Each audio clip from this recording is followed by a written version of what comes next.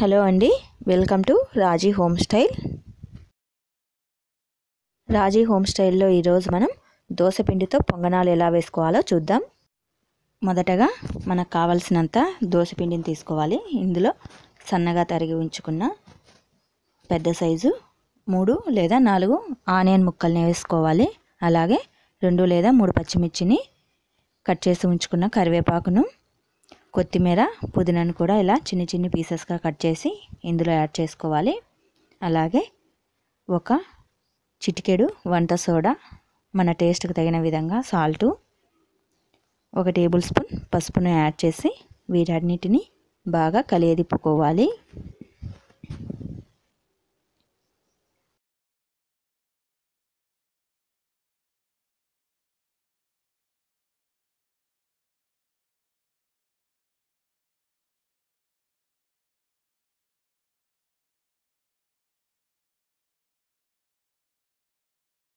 పిండిని ఈ విధంగా రెడీ చేసి ఉంచుకోవాలి. స్టవ్ పైన పొంగనాల పెంకును ఉంచేసి పెంకు బాగా హీట్ అయిన తర్వాత ఒక్కొక్క గుంతలో ఆయిల్ని వేసి స్టిక్తో పెంకుకంతటికి ఆయిల్ని బాగా రుద్దాలి. ఇప్పుడు మనం ప్రిపేర్ చేసి ఉంచుకున్న దోశ పిండిని కొద్ది కొద్దిగా ఈ పొంగనాల పెంకులో వేసుకొని మూత ఉంచేసి ఐదు నిమిషాల పాటు బాగా కాగనివ్వాలి.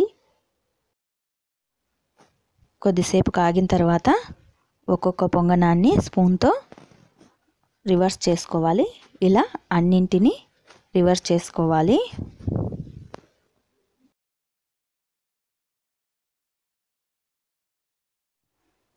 తర్వాత ఒక ఫోక్స్ పుల్ల తీసుకొని ఒక్కొక్క దాన్ని ఇలా గుచ్చుతూ రివర్స్ చేస్తూ బాగా కాలనివ్వాలి.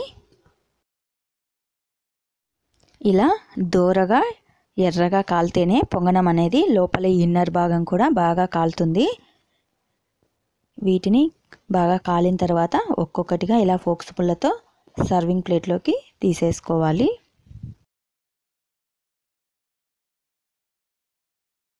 వేడివేడి దోశపిండి దోసపిండి పొంగనాలు రెడీ అయిపోయాయి. వీటిని మనకు నచ్చిన విధంగా నచ్చిన చట్నీతో టేస్ట్ చేయవచ్చు. ఈ వీడియో మీకు నచ్చితే మరిన్ని వీడియోల కోసం మా ఛానల్ని సబ్స్క్రైబ్ చేయండి.